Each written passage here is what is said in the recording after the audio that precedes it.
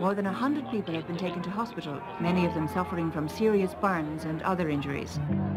They went and they were obviously just in full swing, you know, having a great time. And then Stardust just went on fire and it just took over. Fuair 8 duine is sahad bás agus gortíog gachéad sa cehardeag. Bhí siad anóg, eh, hí saoil fada os os a ggóir uh, you know, bhí siad múta. My father got out the fire and he just kept screaming, Where's Maureen? And there was no holding him back at that stage. He was going to find her. Um, so he didn't come back out then. So yeah, it's it's very hard to know that he was outside, you know, and it could have been so different. But it just wasn't. It wasn't to be. This is to me as sacred as a graveyard. These 48 people died here.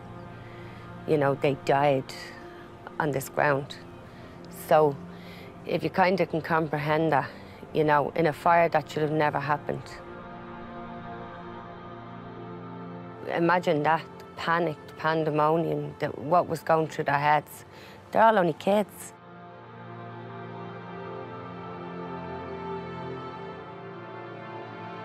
I'm orphaned from this tragedy. 40 years. And I'll, I'll never be healed. Like, I'll never be healed. Ever. It's very hard to love something that you never knew. I don't have any memories, so all I can do is piece together from what other people tell me. I do feel the presence of them. And also, I always feel like the good happens to me.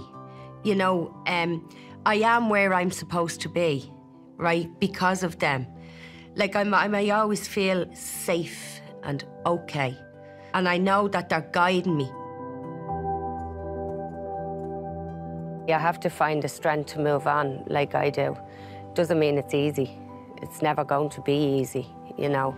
Once you have hope, you have everything. Believe me, things will get better.